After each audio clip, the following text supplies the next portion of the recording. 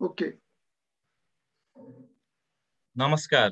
म आज यस कार्यक्रमको होस्ट तथा संसिक अठारौँ कार्य समितिको क्षेत्र नम्बर चार उपसभापति नवीन बोहरा।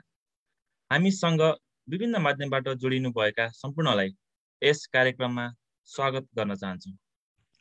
गतका दिनहरू चाहिँ आज पनि हामीले एकजना विशिष्ट व्यक्तिलाई निमन्त्रित गरेका छौँ। उहाँ नेपालमा रजिस्टर्ड फार्मेसिस्ट पनि हुनुहुन्छ र उहाँले दुई हजार चौधमा ब्याचलर डिग्री पोखरा युनिभर्सिटीबाट गर्नुभएको थियो भने मास्टर डिग्री दुई हजार सोह्रमा गर्नुभएको थियो। अध्ययनकै क्रममा दुई हजार बिसमा natural product chemistry college of फार्मेसीमा Hong Kong युनिभर्सिटीबाट विद्या भारती गर्नुभएको थियो। र उहाँ अहिले रिसर्च असिस्टेन्ट प्रोफेसरका रूपमा जङबुक नेसनल युनिभर्सिटीमा कार्यरत हुनुहुन्छ। उहाँको आजको टपिक च्युरी वनस्पति एक उत्पादन अनेक व्यवसाय दृष्टिकोण रहेको छ। आजको प्रस्तुतिका लागि डाक्टर प्रकाश राज पाण्डेज्यूलाई प्रस्तुतिका लागि अनुरोध गर्न चाहन्छु। धेरै धेरै धन्यवाद नवीन बोहरा भाइ। साथै सम्पूर्णमा नमस्कार। जो जो जुम जुमबाट हेर्दै हुनुहुन्छ अथवा लाइभ बाट जुनसुकै माध्यमबाट पनि हेर्दै हुनुहुन्छ उहाँहरू सम्पूर्णलाई नमस्कार। यति भन्दै म आफ्नो प्रेजेन्टेसन सुरु गर्न चाहन्छु। मेरो स्क्रिन सेयर भएको छ। आएको छ हुन्छ। फेरि पनि सम्पूर्णमा नमस्कार। म मेरो नाम प्रकाश राज पाण्डे। म चाहिँ अहिले जनबुक नेसनल युनिभर्सिटीमा रिसर्च एसिस्ट्यान्ट प्रोफेसरको रूपमा कार्यरत छु। मेरो मैले चाहिँ दुई हजार बिसमा हङकङ युनिभर्सिटीबाट विद्याभारती गरेँ र त्यसमा मेरो मेन रिसर्च चाहिँ यो जडीबुटी सम्बन्धीको रिसर्च थियो जडीबुटी तथा वनस्पति सम्बन्धी। त्यही भएर मेरो मेन आफ्नो रुचिको विषय भनेको जडीबुटी जस्तै फुड साइन्स कस्मेटिक त्यस्तै वनस्पति सम्बन्धी छ। त्यसै विषयमा मैले आज एउटा हुन त म वैज्ञानिक रिसर्च मा काम गर्छु भनौँ न अब साइन्टिफिक रिसर्चको क्षेत्रमा काम गर्छु तर म आज आफ्नो क्षेत्रभन्दा एकदम फरक व्यावसायिक कुरा लिएर आएको छु। जस्तो नेपाल विकास हुन सकेको छैन अविकसित हुनुमा धेरै कारणहरू छन्। र अब हामीले चाहिँ नेपालको विकास गर्नको लागि के त्यस्ता एकदमै महत्त्वपूर्ण विषयहरू हुन सक्छन् के त्यस्ता क्षेत्रहरू हुन सक्छन् तिनीहरूलाई उजागर गर्नको लागि भनेर मैले वनस्पति सम्बन्धी पढेको भएर कुन त्यस्तो वनस्पति हुनसक्छ जसले गर्दा नेपालको विकासमा टेवा पुर्याउन सक्छ भन्ने हिसाबले मैले यसो सोच्दाखेरि जस्तो अब हाम्रो कोरियामा हेर्दाखेरि घिउकुमारी हामीले चाहिँ एकदमै धेरै प्रोडक्टहरू देख्छौँ बजारमा घिउकुमारीको। त्यो एउटै वनस्पतिबाट पनि अनेकौँ प्रोडक्टहरू बनाएर उनीहरूले व्यापार व्यवसाय गरिरहेका छन् र त्यसले पनि कोरियाको इकोनोमीमा एकदमै महत्त्वपूर्ण योगदान दिएको छ। त्यस्तै नेपालमा त्यस्तो कस कुन वनस्पति हुनसक्छ जसले गर्दा त्यसको हामीले विकास विस्तार गर्न सक्यौँ भने नेपालको आर्थिक क्षेत्रमा पनि एउटा महत्त्वपूर्ण बन्न सक्छ भन्ने हिसाबले मैले सोच्दाखेरि चिउरी चिउरी एउटा यस्तो वनस्पति देखेँ मैले त्यसको हरेक त्यसको रुखको हरेक भागलाई हामीले व्यावसायिक रूपमा हामीले प्रोडक्ट बनाएर हामीले बजारमा ल्याउन सक्दो रहेछौँ। त्यसै सम्बन्धीको मैले यो प्रेजेन्टेसन दिँदैछु तर यसमा मैले एकदमै धेरै भित्री रूपमा मैले अध्ययन गरेर यहाँ प्रेजेन्ट गरेको होइन। एउटा सामान्य रूपमा मैले यहाँहरू यहाँ हेरिराख्नुभएका सम्पूर्ण महानुभावहरूमा चाहिँ यदि कसैलाई त्यस्तो व्यावसायिक व्यवसाय गर्ने सोच आएको छ अथवा चाहिँ कुन क्षेत्रतिर जाने के गर्दा ठिक होला भन्ने त्यस्तो एउटा कन्फ्युजन छ भने यो पनि एउटा विकल्प हुनसक्छ भनेर मैले यहाँ जस्ट यहाँहरूको एउटा इन्ट्रेस्ट को को रूपमा मात्रै इन्ट्रेस्ट जगाउनुको लागि मात्रै मैले यो प्रेजेन्टेसन गर्दैछु। मैले धेरै अध्ययन गरेर एकदम उस चाहिँ गरेको छैन। आशा छ तपाईँहरूले चाहिँ यसबाट केही न केही रूपमा चाहिँ बेनिफिट लिनुहुनेछ। म यसका साथै नेपालमा सुपान agro network and nature product र खास हेल्थ प्राइभेट लिमिटेड भन्ने कम्पनीहरू छन् त्यसमा पनि आबद्ध छु। तिनीहरूले पनि जडीबुटीको प्रयोग गरेर फर्मुलेसनहरू बनाउने र त्यस्तै स्वास्थ्य सम्बन्धीको काममा इन्भल्भ छन्।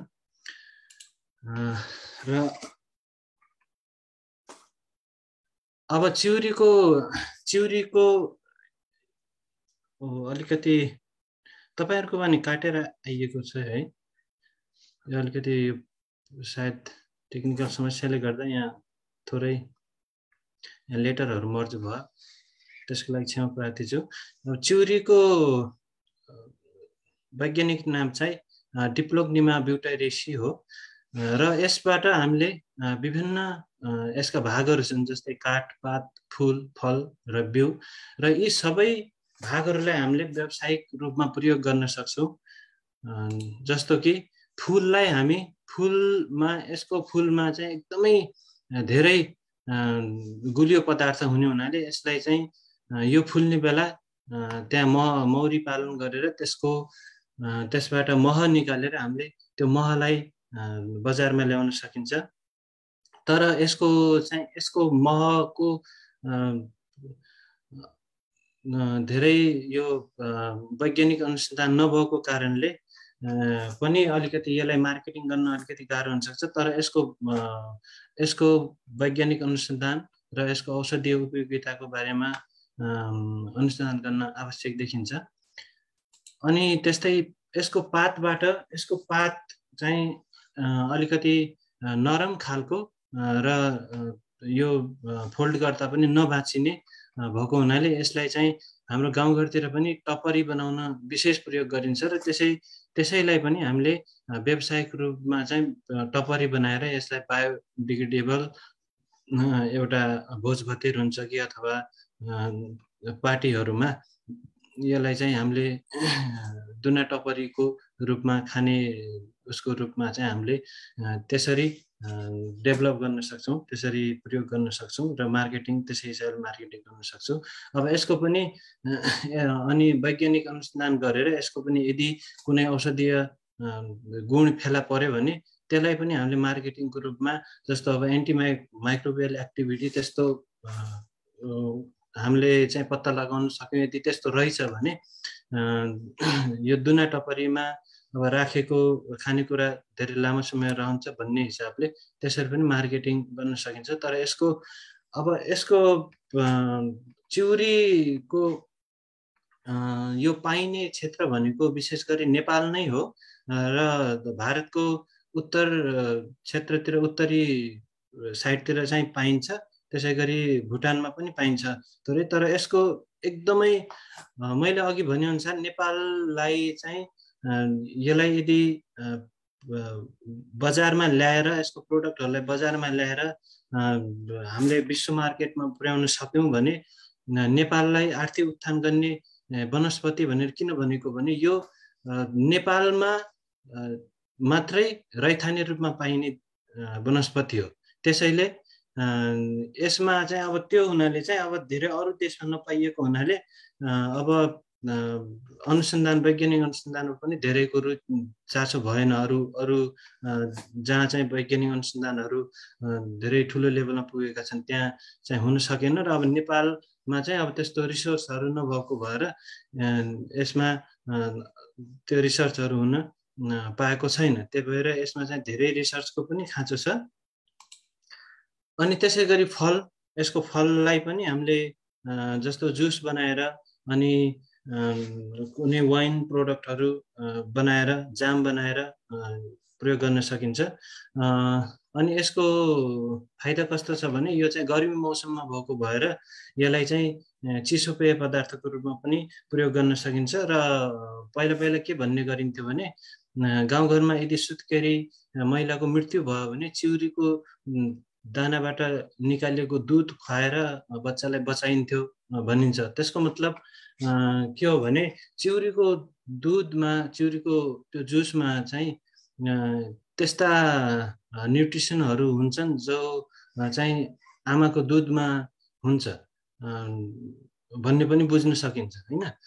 त्यो हिसाबले योलाई चाहिँ एकदमै एकदमै महत्त्वपूर्ण फलको रूपमा र खाद्य पदार्थको रूपमा प्रयोग गर्न सकिन्छ र यसको पनि वैज्ञानिक अनुसन्धानको आवश्यकता छ। र त्यसै गरी यसको काठ अब यसको चिउरीको उमेर भनौँ चिउरी चाहिँ हाम्रो मान्छेको उमेर जस्तै हुन्छ लगभग असी नब्बे वर्ष हुन्छ।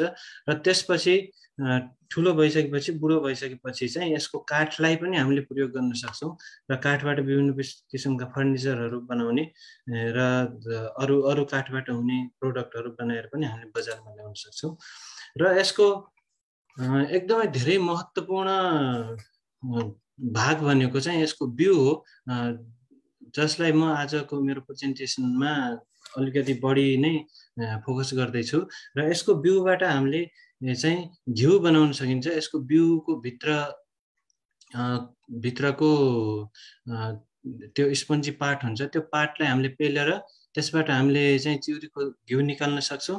प्लस रहेको त्यो पिनालाई पनि हामीले प्रयोग गर्न सक्छौँ। जस्तो कि अब त्यो पिनालाई हामीले मलको रूपमा प्रयोग गर्न पनि सकिन्छ। र त्यो तर अलिकति त्यसमा चाहिँ स्यापोनिन भन्ने एउटा पदार्थ हुन्छ। त्यो पदार्थ अलिकति टक्सिक अलिकति विषाक्त भएको भएर त्यो पदार्थलाई हामीले डिटक्सिफिकेसन गरेर हामीले कुखुरा पालनमा दानाको रूपमा नै प्रयोग गर्न सकिन्छ। र यदि डिटक्सिफिकेसन नगरिकन हामीले यसलाई मलको रूपमा प्रयोग गर्दाखेरि यसले चाहिँ राम्रो मलिलो माटोलाई मलिलो पनि बनाउने र कीटनाशक गुणहरू भएको हुनाले किराहरूबाट बचाउन पनि प्रयोग गर्न सकिन्छ। र घिउको एकदमै धेरै ठुलो महत्त्व छ। यसको मुख्य उत्पादन नै घिउ छ। र अब यसको बजारको सम्भावना पनि उच्च रहेको छ। यसबाट हामीले एउटा यसको दानाबाट यसको बिउबाट चाहिँ हामीले तिस पैँतिसदेखि चालिस प्रतिशत घिउ निकाल्न सकिन्छ। र यसलाई चाहिँ हाम्रो गाउँघरतिर भनौँ अथवा धेरै त्यो इथनिक ग्रुपहरू जस्तो चेपाङ समुदाय उनीहरूले चाहिँ यो घिउलाई चाहिँ खानाको रूपमा प्रयोग पनि गर्दै आइरहेका छन्। त्यसबाट पनि वैज्ञानिक अनुसन्धान नभएको हुँदाहुँदै पनि हामीले अब मान्छेले नै खानाको रूपमा युज प्रयोग गरिरहेको भएपछि त्यो त्यसमा चाहिँ त्यो विषाक्त छैन त्यो टक्सिक छैन भन्ने हामीले बुझ्न सकिन्छ। र यस्तै अर्को यसको ढुवानीको लागि पनि फाइदा के हो भने यो अडचालिस डिग्री सेन्टिग्रेडसम्म पनि यो ठोस रूपमा रहने भएकोले यसलाई ढुवानी गर्नु सजिलो हुन्छ। त्यसैले यसलाई चाहिँ एकदमै भ्यालुएबल प्रडक्टको रूपमा हामीले डेभलप गर्न सकिन्छ। र अब चिउरीको घिउको चाहिँ अब व्यावसायिक उपयोगिता कुन कुन क्षेत्रमा हुनसक्छ भन्दाखेरि यो औषधि उद्योगमा हुनसक्छ। विशेष गरी औषधि उद्योगमा ओइन्मेन्टहरू क्रिमहरूको बेसको रूपमा प्रयोग गर्न सकिन्छ। त्यस्तै कस्मेटिक उद्योगमा पनि विभिन्न क्रिमहरू हुन्छन्। तिनीहरूको बेसको रूपमा प्रयोग गर्न सकिन्छ। अनि जस्तो मिठाई अथवा खाद्य उद्योगमा जहाँ चाहिँ घिउ प्रयोग हुन्छ अथवा अरू सिन्थेटिक उसहरू प्रयोग हुन्छ ओइलहरू त्यसमा चाहिँ यो नेचुरल रूपमा प्राकृतिक रूपमा उत्पादन भएको यो घिउलाई प्रयोग गर्न सकिन्छ। र यसबाट विभिन्न किसिमका साबुनहरू बनाउने रूपमा प्रयोग गर्न सकिन्छ। त्यसै गरी मैनबत्ती बनाउनुमा यसको घिउ यसलाई चाहिँ यसलाई प्युरिफाई गरेर एकदम प्योर घिउलाई चाहिँ हामीले अरू जस्तो औषधि कस्मेटिकहरूमा प्रयोग गर्न सकियो भने अरू अनप्योर जुन भा जुन रहन्छ त्यसलाई चाहिँ मैनबत्ती बनाउन अथवा चाहिँ अरू दियो बनाउन त्यसको रूपमा पनि प्रयोग गर्न सकिन्छ। अब अहिले अहिले पनि होइन धेरै जस्तो यो बुद्ध गुम्बाहरूमा चाहिँ यसको मैनबत्तीबाट धुवा ननिस्किने र यसले चाहिँ प्रदूषण नगर्ने भएको भएर बुद्ध गुम्बाहरूमा यसको मैनबत्तीको अत्याधिक प्रयोग गरिन्छ। अब हामीलाई थाहा छ अब बुद्ध धर्म मान्ने जनसङ्ख्या धेरै ठुलो छ विश्वमा। त्यहाँ हामीले यसको मैनबत्ती बनाएर दियो बनाएर पनि हामीले पठाउन सक्छौँ। त्यो पनि यसको एकदमै ठुलो व्यावसायिक सम्भावना रहेको छ। त्यसै गरी यसलाई चाहिँ डिटोक्सिफाई गरेर यसलाई चाहिँ खाना पकाउने घिउको रूपमा पनि हामीले प्रयोग गर्न सक्छौँ। त्यसको रूपमा पनि हामीले विकास गर्न सकिन्छ। अनि त्यसै गरी मलाई माफ गर्नु होला यहाँ राम्रोसँग लेखिएर लेखेको देखिएको छैन। यो स्लाइडको उस भएको कारणले त्यो धेरै काटिएर आएको छ। त्यही पनि म सक्दो राम्रोसँग प्रेजेन्ट गर्ने कोसिस गर्दैछु। यो प्रकाशनमा आएका परम्परागत प्रयोग भनेको परम्परादेखि रूपमा प्रयोग कुन कुन कस्तो कस्तो रूपमा प्रयोग हुँदै आएको छ? यसको ट्रेडिसनल युजहरू के के छन्? भन्ने डेटा यहाँ मैले लेखेको छु। यो यो डेटाहरू देखाएर पनि हामीले चाहिँ यसलाई मार्केटिङको रूपमा हामीले प्रयोग गर्न सकिन्छ। जस्तो कि चेपाङ समुदायले यसलाई चाहिँ खाना पकाउने त मैले अघि भनिसकेँ। त्यसका साथै अब कस्मेटिक हिसाबले हेर्दा पनि चेपाङ समुदायमा छाला नरम बनाउने अथवा चाहिँ न्युट्रिसनको रूपमा पनि प्रयोग भएको देखिन्छ। त्यसै गरी उनीहरूमा छाला फुटेको अनुहारको दाग हटाउन पनि यसको प्रयोग प्रभावकारी मानिएको छ। र अनि यसको तातो घिउ तताएर चाहिँ टाउको दुखाइ अनि घुँडा दुख्ने बात दुखाइ तथा छालाको सङ्क्रमण भएको ठाउँमा काटिएको माटोले खाएको त्यस्तो ठाउँमा पनि प्रयोग गरेर यसले चाहिँ निको पारेको देखिन्छ। अब यसबाट हेर्दाखेरि यसको आफ्नै पनि एउटा मेडिसिनल भ्यालु भएको देखिन्छ। यो बेसको रूपमा प्रयोग गर्दा पनि यदि हामीले चाहिँ ओइनमेन्ट जस्तो छालाको प्रोटेक्सनको लागि ओइनमेन्ट अथवा क्रिम बनायौँ भने पनि अब यसमा हामीले अरू अरू मेडिसिनल इन्ग्रेडियन्टहरू हामीले थपिराख्नु नपर्ने देखिन्छ। यसबाट किनभने यसको आफ्नै पनि एउटा मेडिसिनल यसले आफैले पनि छालाको लागि चाहिँ राम्रो काम गरेको देखिन्छ। त्यसै गरी रोल्पामा चाहिँ यसको जुसलाई शरीर न्यानो बनाउने अथवा चाहिँ डिटक्सिफिकेसन जस्तो रक्सी धेरै खाएर उसो भयो भने त्यो रक्सीको नसालाई हटाउनुको लागि पनि यसको जुस प्रयोग गरेको पाइन्छ र यसको अपचको अपच भयो भने यसको बोक्राको रस प्रयोग गर्दा पनि अपचले निको पारेको देखिन्छ। त्यसै गरी तर यसमा चाहिँ धेरै मैले अघि नै भने अब नेपालमा मात्रै धेरै जस्तो नेपालमा उत्पादन भएको भएर यसमा धेरै साइन्टिफिक रिसर्च भएको देखिँदैन। केही मात्रामा भएको छ जस्तो कि यो चिउरीको फलमा चाहिँ एन्टिअक्सिडेन्ट एक्टिभिटी भएको देखिएको छ। त्यसै गरी चिउरीको बिउमा भएको फ्ल्यापनोइड ट्रेपन टर्पिनोइडहरूले एन्टिमाइक्रोबियल तथा एन्टिअक्सिडेन्ट एक्टिभिटी देखाएको छ। अनि त्यसै गरी यसमा भएको स्यापोनिन प्रोस्यापो जेनिनले चाहिँ किराको वृद्धि विकासलाई चाहिँ असर गरेको अथवा कम गरेको देखिएको छ। त्यो चाहिँ वैज्ञानिक अनुसन्धानबाट प्रमाणित भएको छ। त्यसैले यसको यो स्यापोनिनलाई चाहिँ कीटनाशक औषधिको रूपमा प्रयोग गर्न सकिन्छ। र अब नेपालमा अब कुन कुन ठाउँमा पाइन्छ चिउरी भन्दाखेरि विशेष गरी नेपालको पूर्वीदेखि पश्चिमसम्म सबै ठाउँमा चिउरी चिउरी पाइएको रेकर्ड छ। त्यसमध्ये पनि मध्यपश्चिम क्षेत्र र सुदूरपश्चिम क्षेत्रमा चाहिँ यसको अत्याधिक यसको उपस्थिति देखिन्छ।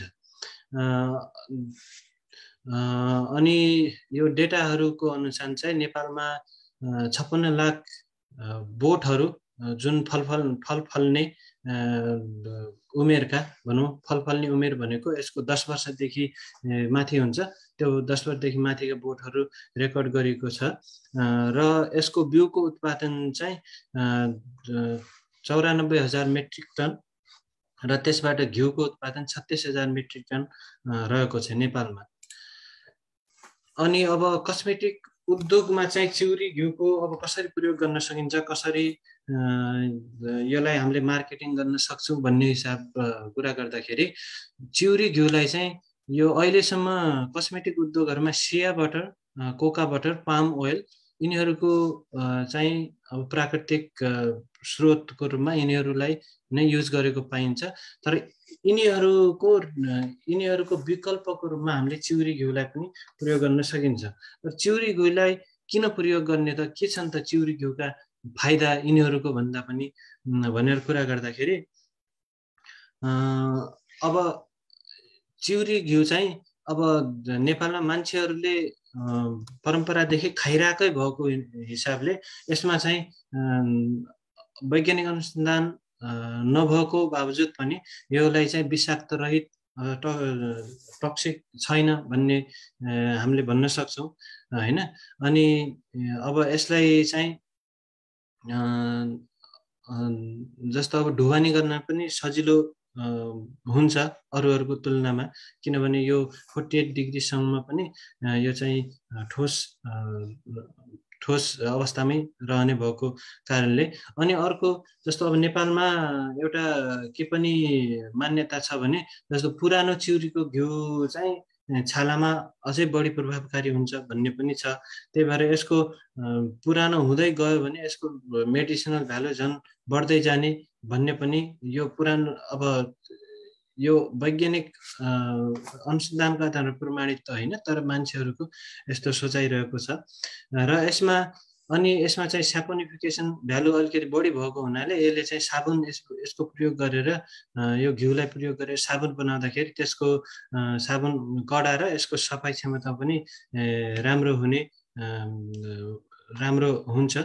र यसको चाहिँ बास्ना यसको बास्ना पनि न्युट्रल भएको हुनाले यसले यसमा अरू अरू हामीले अरू फ्लेभरहरू जुनसुकै पनि प्रयोग गर्दाखेरि सजिलैसँग त्यसलाई हामीले प्रयोग गर्न सकिन्छ। अनि अर्को चाहिँ सबैभन्दा राम्रो विकल्प यो चिउरीलाई अरू अरू बटरहरूभन्दा राम्रो विकल्पको रूपमा किन मानिन्छ भने यो चाहिँ यसको मूल्य अलिकति सस्तो हुनसक्छ। नेपालबाट यदि हामीले चाहिँ ग्लोबल्ली हामीले एक्सपोर्ट गर्न सक्यौँ भने यसको मूल्य सस्तो पर्न सक्छ। त्यो हुन्छ। अनि अब यसमा चाहिँ अरू अब केमिकल कन्टेन्टहरू कस्तो छ त भनेर हेर्दाखेरि यो चिउरी बटरमा चाहिँ जस्तो पाल्मेटिक एसिड सबैभन्दा धेरै अनि ओलिफिक एसिड लिनोलिक एसिड र स्टेरिक एसिड चाहिँ यसबाट यसमा पाइन्छ। र जुन चाहिँ हामीले पाम ओइलको कम्पोजिसन हेर्दा पनि पाम ओइलमा पनि त्यही रेसियोमा हामीले चाहिँ ती ओइल कन्टेन्टहरू पाल्मेटिक एसिडहरू तिनीहरू चाहिँ त्यही कन्टेन्टमा हामीले यहाँ यहाँ पाइएको छ। जस्तो अब पाल्मेटिक पाम ओइल र चिउरी बटरको यो केमिकल कम्पोजिसन एक्ज्याक्ट सेम छ। त्यही भएर पनि हामीले पाम ओइलको विकल्पको रूपमा युज गर्न सकिन्छ। अब पाम ओइललाई युज प्रयोग नगरेर चिउरीलाई किन प्रयोग गर्ने भन्दाखेरि अहिले पाम ओइलले चाहिँ अब इन्डोनेसिया र मलेसियामा पाम ओइलको उच्चतम खेती भयो र उनीहरूले वन फडानी गरेर वन विनाश गरेर पाम ओइल पाम ओइल लाई लगाए भन्ने हिसाबले अहिले यो युरोपतिर अब पाम ओइललाई चाहिँ रिजेक्ट गर्ने अभियान चलेको छ। बहिष्कारको अभियान चलेको छ। त्यही भएर पनि त्यो यो चिउरी बटरलाई चाहिँ इन्टरनेसनल मार्केटमा लैजानुको लागि एकदम राम्रो अपर्च्युनिटी हुनसक्छ। र मैले यहाँ चाहिँ पाम ओइलको विश्व बजारको मार्केट कस्तो छ त ओल्ड मार्केट भनेर हेर्दाखेरि forty eight point one billion डलरको ओल्ड मार्केट रहेछ पाम ओइलको यदि यसलाई चाहिँ हामीले प्रतिस्थापन गर्न सक्यो भने चिउरी बटरको चिउरी बटरको प्रयोग गरेर यो चाहिँ नेपालको नेपालमा आर्थिक उत्थानको लागि एकदमै ठुलो भूमिका रहन सक्छ यसको।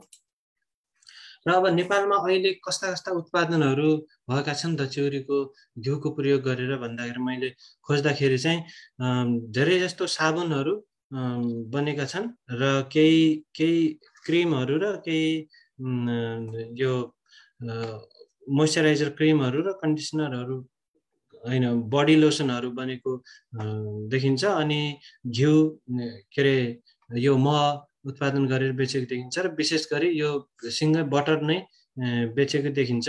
यसबाट धेरै उत्पादन धेरै प्रोडक्टहरू बनाएर बेचेको देखिँदैन नेपालमा। र अब अन्तर्राष्ट्रिय बजारमा चाहिँ कस्तो छ त चिउरीको प्रयोग भएको छ कि छैन भनेर हेर्दाखेरि एउटा यो Italian company herbal cosmetic company Officina Naturae Naturae यसले यसले चाहिँ नेपालको चिउरी घिउको प्रयोग गरेर एउटा चिउरी बटर कस्मेटिक लाइन भनेर सुरु गरेको छ। त्यो कस्मेटिक लाइनमा धेरै प्रोडक्टहरू उसले बनाएको छ। यहाँ देख्न सक्नुहुन्छ जस्तै टुथपेस्टहरू क्रिमहरू यस्ता यस्ता कुराहरू चिउरी बटरको प्रयोग गरेर बनाएको देखिन्छ। त्यो चाहिँ नेपालकै चिउरी लगेर बनाएको छ उसले। अनि त्यसै गरी बेल्जियमको साइम कम भन्ने कम्पनीले पनि बामहरू हेयर कन्डिसनरहरू स्याम्पूहरू बनाएको देखिन्छ चिउरीकै चिउरी बटरको प्रयोग गरेर। अब तर यो इनफ चाहिँ छैन। जस्तो अब यसको योभन्दा पनि धेरै ठुलो मार्केट बन्न सक्छ। तर चुनौतीहरू छन्। चिउरीलाई चाहिँ व्यावसायिक रूपमा विकास गर्नको लागि कस्ता कस्ता चुनौतीहरू छन् भन्दाखेरि अब नेपालमा अहिले त्यो अब एक्सपोर्ट गर्नेदेखि लिएर नेपालमै पनि प्रयोग गर्ने जो चिउरीहरू छ त्यो चाहिँ व्यावसायिक खेती गरेर भएको देखिँदैन कि यो वाइल्ड रूपमै जस्तो वन जङ्गलमा आफै उत्पादन भएका तिनीहरूबाटै जङ्गलबाटै टिपेर ल्याएर त्यसरी यो घिउ निकालेको देखिन्छ तर व्यावसायिक रूपमा खेती गरेर भएको देखिँदैन। अब किन खेती गरिएन व्यावसायिक रूपमा? खेती गरेर किन उस गरिएन यस्तो महत्त्वपूर्ण वनस्पतिलाई? भनेर भन्दाखेरि यसका थोरै चुनौतीहरू छन्। जस्तो कि यो खेती आज गऱ्यो भने यो फल्नको लागि ढिलो फल्छ। जस्तो कि दस वर्ष आठ वर्षदेखि दस वर्ष पछि फल्न सुरु गर्छ र फलेपछि चाहिँ अब त्यसपछि त पचास साठी वर्षसम्म यसले फल दिन्छ तर अब नेपालमा हामीहरूको बानी नै अब एकदमै चाँडो रिजल्ट खोज्ने हुन्छ। त्यही भएर पनि यो ढिलो फल्ने भयो। अनि अर्को के छ भने अब यसको मैले भने यसको चाहिँ साइन्टिफिक रिसर्चहरू यसमा धेरै कम भएका छन् टक्सिकोलोजिकल स्टडीहरू भएका छैनन्। त्यसैले अब अब बाहिर एक्सपोर्ट गर्नुको लागि पनि उनीहरूलाई त्यो सर्टिफिकेसन चाहिने टक्सिकोलोजिकल स्टडी भएको चाहिने भएको भएर यसमा चाहिँ यसको स्टडीको लागि ठुलो धनराशि खर्च गर्नुपर्ने देखिन्छ। र अब अर्को चुनौती अब अन्तर्राष्ट्रिय बजार परिवेशमा पनि चुनौती नै छ। र विभिन्न किसिमका सर्टिफिकेसनका आवश्यकताहरू पर्छन्। त्यसमा पनि धेरै चुनौती देखिन्छ यसको विकासको लागि। र अर्को अब सरकारी तवरबाट पनि अब स्पष्ट नीतिहरू कार्यक्रमहरू आउनुपर्ने हुन्छ। त्यो चाहिँ अलिकति आउन सकेको छैन। ती चाहिँ चुनौतीहरू रहे। तर अब सकारात्मक सङ्केतहरू पनि छन्। यो चिउरीलाई चाहिँ विश्व बजारमा ल्याउनलाई के गर्न सकिन्छ त अब सकारात्मक पाटोबाट हेर्दाखेरि अब चाहिँ यो विश्व बजार चिउरीसँग परिचित हुँदैछ। अघि मैले साइम कम्पनी र त्यो नेचुरा कम्पनीको उदाहरण दिए त्यो प्रोडक्टहरू देखाएँ। तिनीहरूबाट पनि हेर्दाखेरि अब विश्व बजारमा चिउरी बटर भन्ने चाहिँ परिचित हुँदै गएको छ र मान्छेले विश्वास गर्न थालेका छन् अथवा पत्याउन थालेका छन्। अनि अर्को चाहिँ अब अर्को सकारात्मक कुरो महत्त्वपूर्ण कुरो चाहिँ के हो भने नेपाल एउटा मात्रै देश हो जसमा चाहिँ एकदमै धेरै मात्रामा चिउरी उत्पादन हुन्छ। त्यस्तो भौगोलिक अवस्थितिमा नेपाल रहेको छ। मैले यहाँ यहाँ यो नक्सा राखेको छु। यसमा यो यो डार्क लाइनले चाहिँ यो यो क्षेत्रमा चिउरी उत्पादन हुन्छ भन्ने देखाएको छ। जस्तो भारतको यो उत्तराखण्डतिर र यतापट्टि चाहिँ भुटानतिर उत्पादन भएको देखिन्छ अरू देशमा तर नेपालमा भने पुरै पश्चिम पूर्वदेखि पश्चिमसम्म चाहिँ उत्पादन हुन्छ। त्यही भएर पनि यसलाई चाहिँ नेपालको प्रमुख वनस्पति को रूपमा चाहिँ हामीले त्यसरी विकास गर्न सकिन्छ। अनि अर्को चाहिँ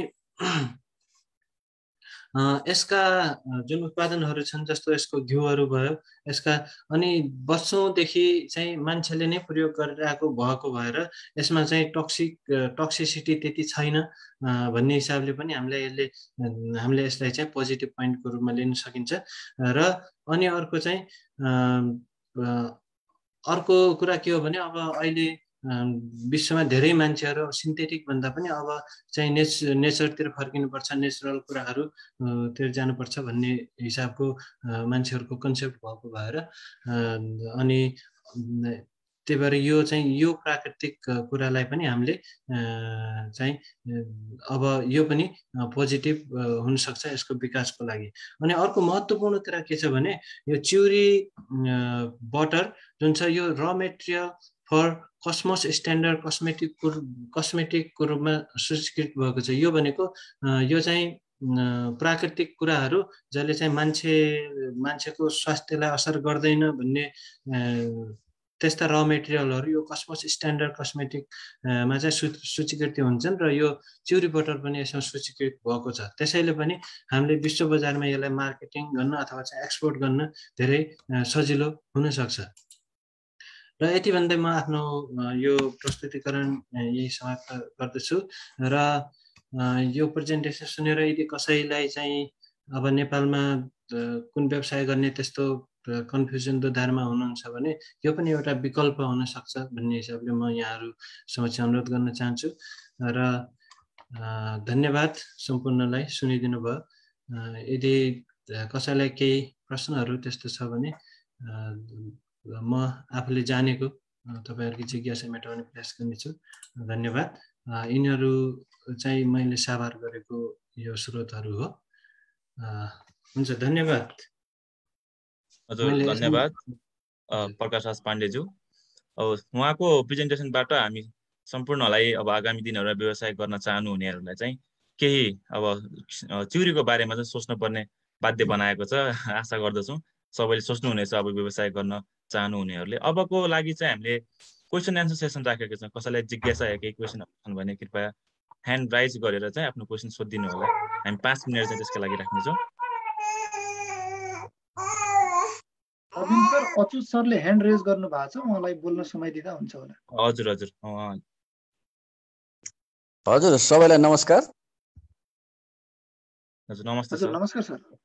म अलिकति ढिलो भएँ यहाँ जोइन गर्नु। पहिला सरको चाहिँ अब अलिकति मैले थोरै पाँच मिनट छुट्याएँ अगाडि।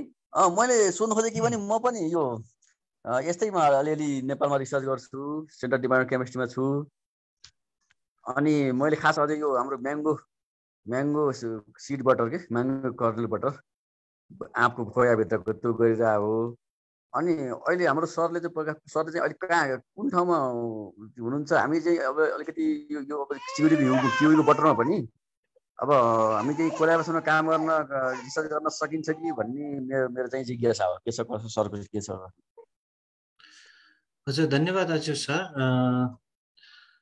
म अहिले जनबुक नेसनल युनिभर्सिटीमा छु। हजुर। मेरो चाहिँ पिएचडी पहिला नेसनल प्रोडक्ट केमिस्ट्री थियो। म ओङकाङ युनिभर्सिटीबाट मैले पिएचडी गरेको त्यहाँ हुँदाखेरि मैले यो वनस्पतिहरूमा यिनीहरूमा चाहिँ रिसर्चहरू गर्थेँ। तर अहिले चाहिँ मेरो अलिकति रिसर्चको फिल्ड अलिकति चेन्ज भएको भएर मैले यो नेचर प्रोडक्ट आफ्नो इच्छा हुँदा हुँदै पनि नेचर प्रोडक्टमा त्यति रिसर्च गर्न पाएको छैन। तर अब कसै गरी हजुरसँग त्यसरी कोलाबरेसन गर्न सक्यो भने म एकदम खुसी नै हुनेछु। हजुर सर सायद हामी फेसबुकमा पनि छौँ जस्तो लाग्छ हजुर। मैले अलिकति त्यो मैले यो चिउरी घुमा मैले गरेको छैन गर्न सुरु गरे हो। एउटा हामीले अलिक अर्कै अर्कै तरिकाले गरेका थियौँ कि यसलाई चिउरी घिउलाई पहिला यो यो अर्थराइटिस हुँदाखेरि पनि प्रयोग गर्दो रहेछ होइन? अनि त्यो एउटा त्यो प्याच जस्तो बनाउने भन्ने त्यो त्यतातिर अलिअलि एउटा विद्यार्थी काम गरे हो तर यसको चाहिँ अलिकति यो हामीले चाहिँ फ्याटी एसिडहरूमा चाहिँ अलिकति डिटेलमा काम गरेको होइन? मैले चाहिँ अलिकति आँपको कोयाभित्रको त्यो सिड हुन्छ नि हजुर हजुर। त्यसको बटर पनि आजभोलि चक्लेट बनाउन कोका बटरको प्रयोगमा रूपमा प्रयोग गर्ने थियो र पा मिलाएर त्यसमा चाहिँ अलिकति काम गर्न गइरहेको थिएँ अब त्यो सरहरू बाहिर हुनुभएको अलिकति राम्रो ठाउँ छ अलिकति यसलाई अलिकति इन्डस्ट्रिज टाइपको सोच भएको छ भने अलिकति हाम्रो यहाँ प्योर रिसर्च मात्रै हुन्छ। त्यस्तो किसिमको भयो भने हामी कोलाबरेसन गर्न चाहिँ सोचौँ सोचौँ भन्ने मेरो हजुर एकदम एकदम छ एकदम। मेरो पनि रुचिको विषय भएको भएर हुन्छ सर। यसो गर्नुपर्छ हामीले। धन्यवाद सर। अरू कसैलाई पनि केही क्वेसनहरू या जिज्ञासा छ भने कृपया हात उठाएर चाहिँ क्वेसन होला। प्रकाश सर मेरो थोरै जिज्ञासा थियो। यो जिज्ञासा भन्दा पनि हामी त्यो बाटोमा कसरी मुभ हुन सकिएला भन्ने जस्तै यो नेपालबाट चाहिँ जडीबुटी जान्छ ट्याब्लेट र झोलको रूपमा आएर भनिन्छ भनेर लामो समयदेखि त्यो कथन हामी गरिरहेका छौँ। तर नेपालका आयुर्वेदिक व्यापारीहरू र अथवा त्यो उद्योगीहरूलाई सोद्धाखेरि चाहिँ नेपालको र मेटेरियल सप्लाई चाहिँ कन्सटेन्ट नभइदिने अथवा लार्ज बल्क क्वान्टिटीमा नेपालले सप्लाई गर्न नसक्ने प्रोसेस चाहिँ नेपालमा नहुने भएर भारतबाट इम्पोर्ट गर्नुपर्ने बाध्यता हो हाम्रो रहर चाहिँ होइन भन्छन्। त्यो चाहिँ नेपालमा हामीले प्रोसर सेन्टरहरू केही ठाउँमा अथवा त्यो के अरे सुर्खेतमा अथवा कतिपय ठाउँमा जो सरकारी स्तरबाट थोरै प्रयत्नहरू इनिसिएटिभहरू भएका छन् त्यसमा प्राइभेट सेक्टरलाई एक ठाउँमा ल्याएर नेपालका कम्पनीहरूसँग त्यो बेलामा कुरा हुँदा पनि उहाँहरू किन एक ठाउँमा आउन नसक्नु? ठुलो लगानी भएर हो कि? त्योमा हाम्रो मुभमेन्ट कसरी चलाउन सक्ला प्रकाश सर? केही तपाईँले आइडिया सेयर गर्न सक्नुहुन्छ? अब त्यो छ अब नेपालको विडम्बना हो त्यो कुरो चाहिँ होइन? अब नेपालमा भएको उत्पादनहरू हामीले चाहिँ सस्तो मूल्यमा बाहिर पठाउने र महँगोमा फेरि त्यसलाई भित्राउने भन्ने। अब त्यो मलाई जहाँसम्म लाग्छ अब के अरे अब त्यही भयो। अब हामीले चाहिँ होइन जो अब स्टेक होल्डरहरू भयो उनीहरूले चाहिँ देशको बारेमा अब सोचेनन् भन्न पनि अब त्यसरी त नमिल्ला होइन। तर त्यही त तपाईँले भने जस्तो युनिफाइड भएर होइन कुनै एउटा राम्रो लगानी गरेर त्यस्तो उद्योगहरू खोलेर अनि चाहिँ प्रोडक्टकै रूपमा हामीले चाहिँ निर्यात गर्न सक्यो भने त्यसले धेरै राम्रो गर्थ्यो गर्नलाई। अब त्यही त नि अब त्यो मलाई पनि त्यो चाहिँ अलिकति लाग्छ त्यो भइदियो भने हुन्थ्यो भन्ने जस्तो लाग्छ। अब त्यसमा चाहिँ अब सरकारी तर्फबाट पहलको पहलको खाँचो हुनसक्छ सरकारी निकायहरूबाट। होइन सरकारी सरकारले चाहिँ इनिसिएसन लियो भने त्यसमा चाहिँ अरू बाँकी प्राइभेट सेक्टरहरू त्यसमा जोडिन् जोडिन्थे नि त। होइन? त्यही त नि अब। हजुर धन्यवाद सर। अब फेरि कोही हुनुहुन्छ क्वेसनका लागि? जिज्ञासा के छ भने?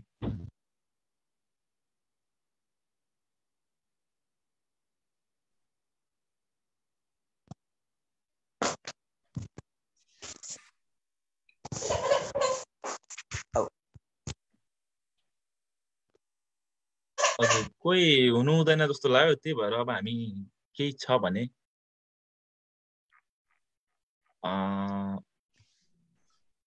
हजुर हजुर हजुर हजुर। सौगात सर भन्नुहोस्।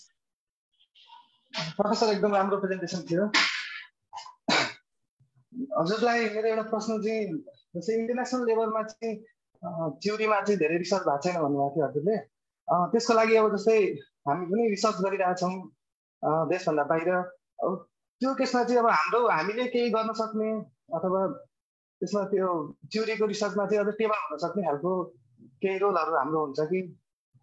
तपाईँलाई के लाग्छ त्यो बारेमा? अथवा इन्टरनेसनल लेभलमा चाहिँ चिउरीलाई लिएर जानलाई चाहिँ फर्दर स्टेपहरू चाहिँ के के देख्नु भएको छ त हजुरले?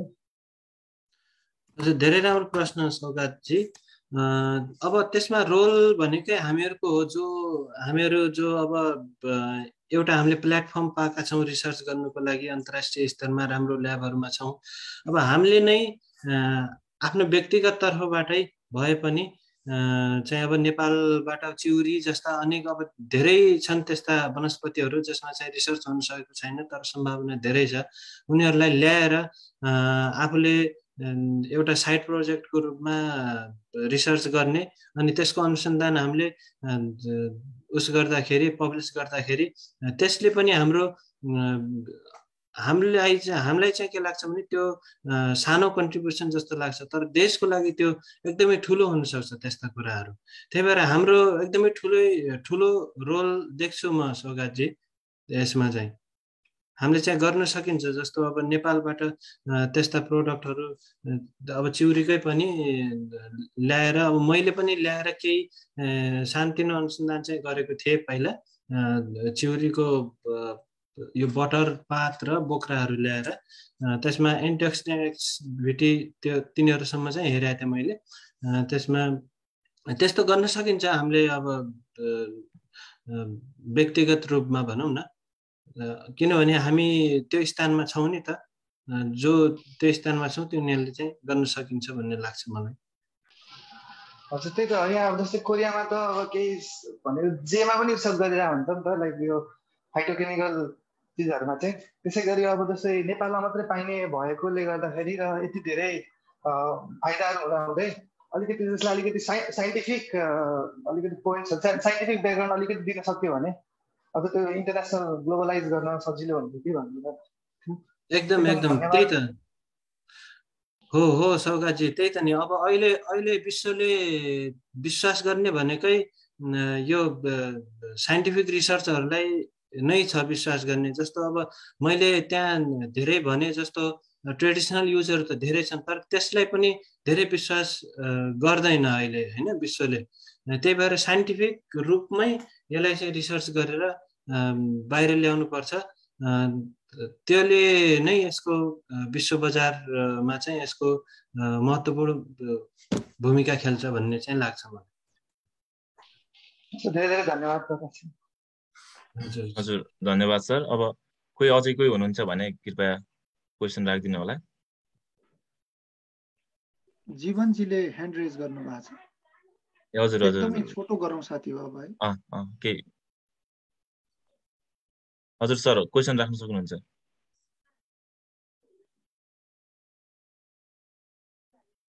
जीवन सर सुन्दै हुनुहुन्छ?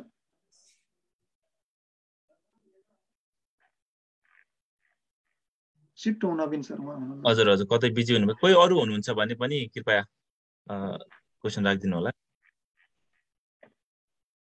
यदि यहाँको भोइसमा समस्या हो भने लेखेर पनि पठाउन सक्नुहुन्छ। जीवन